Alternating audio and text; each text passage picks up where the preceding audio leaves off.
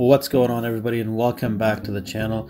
I got a quick fix today for uh, laptop fan noise. Now it gets super annoying when you're trying to work on something or even listen to certain audio and you tend to hear the fans louder than more than the audio you're trying to listen to which is frustrating.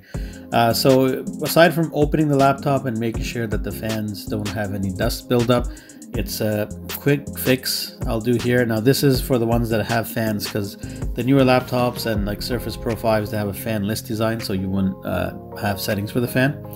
But real quick, so if you go to start and if you just type in uh, sleep or if you you know you can type power too you'll get the same results power and sleep settings and then on the right hand side here you're going to go to additional power settings and then change plan settings here and then change advanced power settings.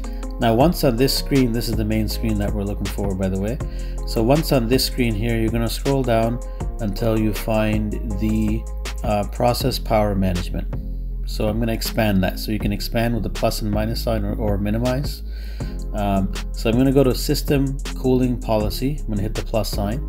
So notice how on battery it's passive and plugged in it's active. Now the ones that I work on the laptops, people said when plugged in, it just it's it's it's super loud. So we're gonna change this to passive. So on battery it's passive and plugged in as well it's passive. And right below that you're gonna see the maximum process state.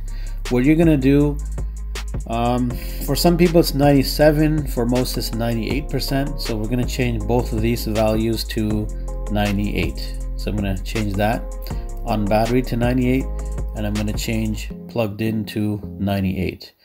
Um, again, so some people say with 98 they still hear the fan and at 97 it works, but I think any 97, 98 should do the trick.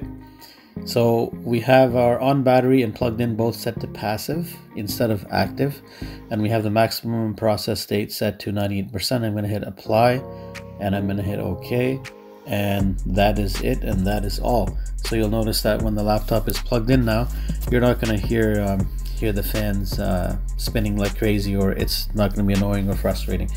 And that's it for this one. Again if you found uh, this video useful or helpful at all don't forget to hit that like button and subscribe to the channel for more quick fixes.